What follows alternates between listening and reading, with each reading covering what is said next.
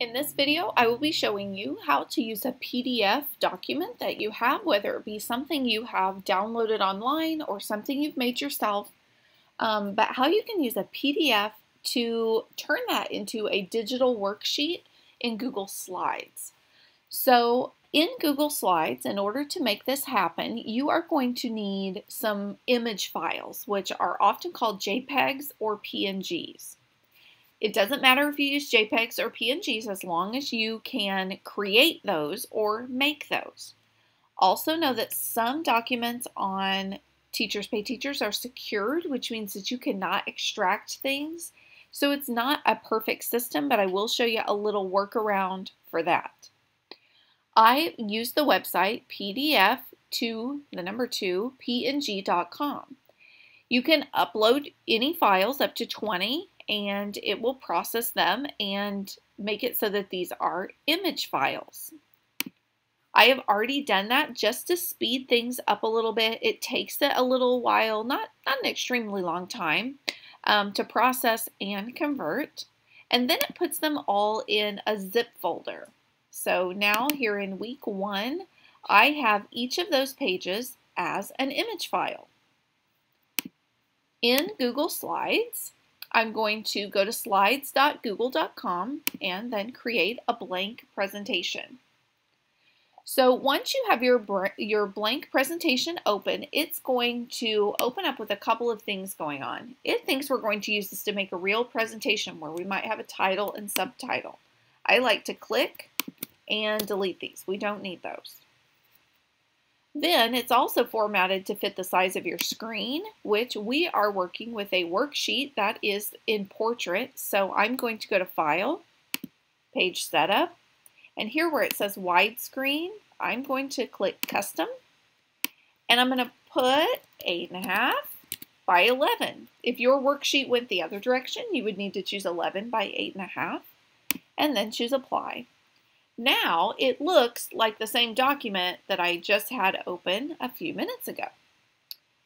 Once we have converted these, it took this and created them into image files. Now we can click background, choose image, and if you have them on your Google Drive, you can choose from there, but I'm going to, going to need to browse my computer. They were in my downloads and I'm going to come to week one and I'm going to insert page two. You could insert the cover, but that just really sounds like it's going to be more or more than what the students need for that particular day. And now this is in the background. So students cannot click this. They can't accidentally press or delete anything. If they were tech savvy, they really could go to background and reset it, but let's hope that they would never do that to us. But it would definitely avoid accidentally clicking and deleting things, which definitely happens with little ones. I'm going to insert a blank page, click background, choose image, go to browse once again, and now I'm going to insert page three because with my math intervention, we would do each of these pages every single day. So I could share this as math week one, day one. That way now they have everything they need for week one, day one. I would also suggest adding in text boxes for their answers. And in my opinion, this is not right or wrong, but in my mind, I like to get the font in a size that's going to work for that answer. And then I type, type here. I created a lot of products without doing this. And then I found that kids that use iPads, there's nothing there unless there's a text box. So I've learned the hard way. I would click type here and then they don't have to insert a text box. They don't have to do anything. It is ready for them. So if I were using this with my students digitally, I would type here, type here, and just put that text box in multiple places. You can do that by copying and pasting.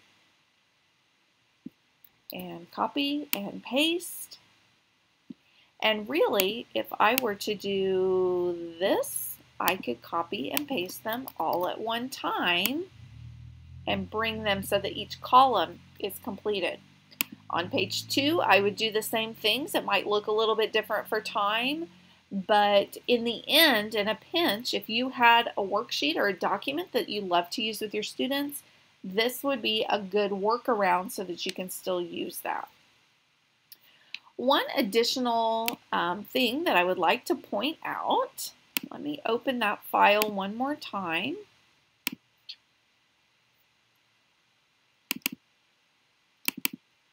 I hope other people have computers that look like this. I had this open just a few minutes ago.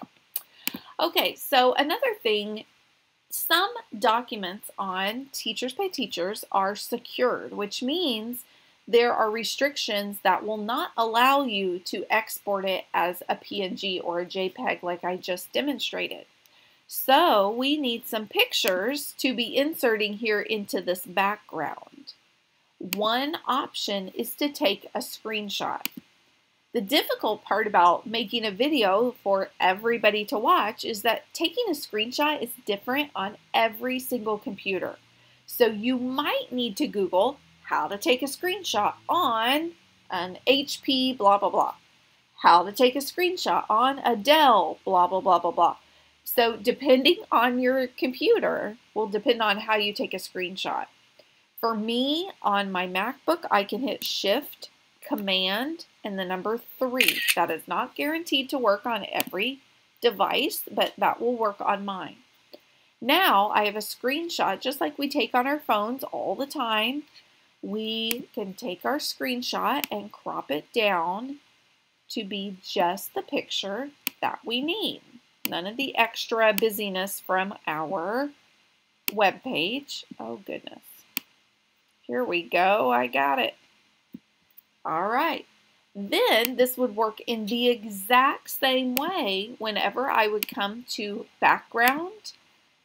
I would choose my image, go to browse, but then instead of this folder that was so wonderfully put together by that website, if that's restricted for you, it would also be on my desktop as a screenshot. And so I can insert it and it really should look exactly the same because it's a screenshot versus um, that downloaded file, but it was a screenshot of the same document. So I hope this helps you to convert some products over to digital.